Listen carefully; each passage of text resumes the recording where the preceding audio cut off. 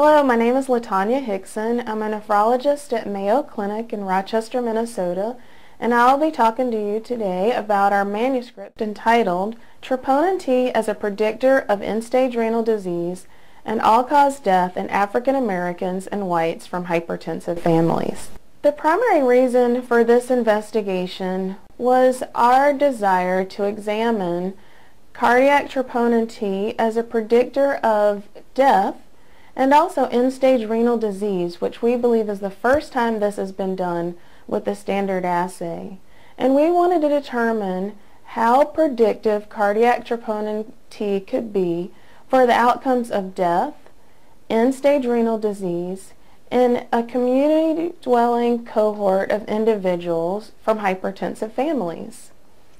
Now, our history with this goes back a few years when we also looked at cardiac troponin T as a predictor of death in patients with chronic kidney disease here at Mayo Clinic. And in the population of individuals that had kidney failure, we found that those with the highest degrees of elevation in this biomarker were more likely to have death within a short period of time after kidney transplantation. And we use this on a regular basis when we assess our patients. So you may want to know about cardiac troponin T. Cardiac troponin T is a sensitive and specific biomarker for heart muscle injury, particularly in the setting of acute heart events, for example, acute coronary syndrome. And as we have shown in the past, even in populations that aren't suffering from a heart attack, cardiac troponin T can predict outcomes or events in certain patient populations. To examine this in a more healthy population of individuals that had high blood pressure or were from families with hypertension, we looked at the GENOA cohort. GENOA stands for Genetic Epidemiology Network of Arteriopathy. And this is a nice sample of patients to do these investigations in because they are racially diverse. We had individuals from Jackson, Mississippi who were participants and they were black or African American. And we also had other individuals from Rochester, Minnesota who were white or Caucasian. This sample contained around 3,000 patients.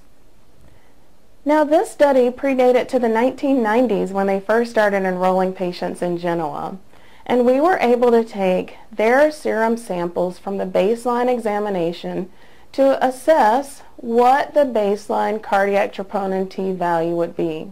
And we followed these patients over 10 years of the period of follow-up they, they'd had, and we looked for outcomes of death, and we also assessed for end-stage kidney failure through the United States Renal Data System matching. With this, we're happy to bring the results to you that show that cardiac troponin T is a predictor of both death and end-stage renal disease. Now, if we look at figure 1, you'll see that in this Kaplan-Meier, an abnormal cardiac troponin T was strongly associated with a higher risk of death compared to individuals that had a normal troponin T at baseline. When we looked at unadjusted analyses for cardiac troponin T, we saw this represented quite nicely in the hazard ratios. So when we look at Table 2, this nicely illustrates what's seen in Figure 1. And with this, we found that cardiac troponin T having an abnormal value for this was associated with death. And when we went and did adjustments for very important factors such as age, race, gender, cardiac risk factors, and other variables, we found that cardiac troponin T having an abnormal value was still strongly associated with death. Now one might wonder, well, is cardiac troponin T just predicting cardiac deaths over time? And you would be correct in that assumption because most of these patients did die from cardiac causes. But we were able to determine that other causes of death were found beyond that, which is also illustrated in Figure 2. Now, when we move on to the outcome of end-stage renal disease, we were delighted to find that these results were very similar. So the Kaplan-Meier in Figure 3 illustrates that those with an abnormal cardiac troponin T were more likely to have end-stage renal disease over this time frame compared to individuals with a normal cardiac troponin T. And as seen in our table from before, when we look at our table of end-stage renal disease and assessing the association with abnormal cardiac troponin T for this outcome, there were very similar findings. And despite adjustment for baseline kidney function, we still found that cardiac troponin T was strongly associated with end-stage renal disease over the period of follow-up. In summary, we have shown the prognostic importance of cardiac troponin T in a community-dwelling population of individuals that either had high blood pressure or were from hypertensive families. And with this, we feel that it's applicable to our routine practice, but not for routine measurement. As you may have seen, only 2% of our patients had an abnormal cardiac troponin T.